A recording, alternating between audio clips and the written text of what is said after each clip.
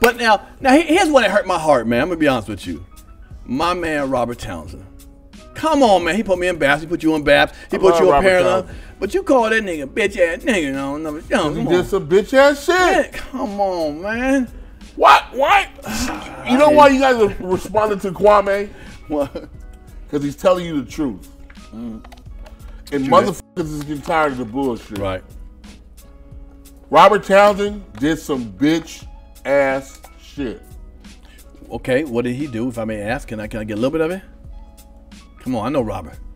Bill Cosby hired Robert Townsend to shoot his. Bill Cosby was set to do a TV show on Netflix. Mm-hmm, I remember that. hmm He reached out to Bill Cosby. I want you to do it. Right. Nobody was Robert Townsend to shoot nothing. Special right there. Okay. Special nothing. Right. Right. Right. Nothing. Marvel is not going to ask this nigga to do anything. Right. Okay? Nobody is. Right. Right. Right. Bill Cosby Right. reached out. Mm-hmm. At the same time, that whole bullshit about him uh, raping bitches in 1655, Woo! Okay, that was Came the year. out. Okay. right? So I'm like, and you know, I'm like, why, why isn't Robert defending his brother? Speaking up for him. I mean, did Robert, did you, did you, do you think? Um, oh no, no, no, no. I was like, are you telling me you?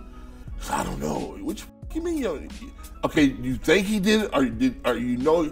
No, no, I don't think he did it, but I can't say anything. Why? He's the only motherfucker that hired you.